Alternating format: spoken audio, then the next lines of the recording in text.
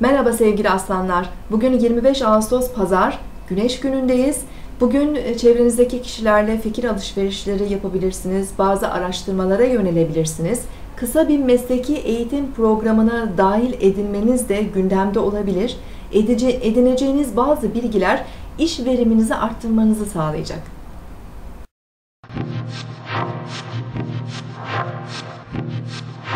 Burcunuzu dinlediniz. Bugün 25 Ağustos Pazar, Güneş günündeyiz. Ay Koç burcunda ilerliyor. Güne girişken, aktif, meraklı ve canlı enerjiler veriyor. Enerjimiz yüksek olacağı için bugün fiziksel e, efor gerektiren e, faaliyetlerle rahatlıkla ilgilenebiliriz. Ancak öğlen 13'ten itibaren Ay Mars'la kare açı yapacak ve ardından boşluğa girecek. Ay Mars kareleri e, sakarlık, kaza, öfke, tartışma gibi e, kavramları öne çıkarabilir. Bu nedenle özellikle öncü grupların daha dikkatli ve temkinli olması gerekiyor. Öğleden sonra 16-14'te Ay Boğa burcuna geçecek. E, günün ilk yarısındaki aktif enerjiler öğleden sonraki saatlerde daha durgun, sakin enerjilere yerini bırakacak.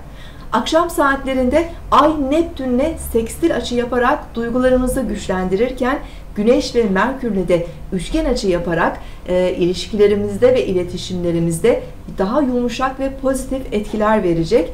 E, akşam saatlerini sevdiklerimizle bir arada olarak duygusal paylaşımlar yaparak veya bize keyif veren faaliyetlerle ilgilenerek geçirebiliriz.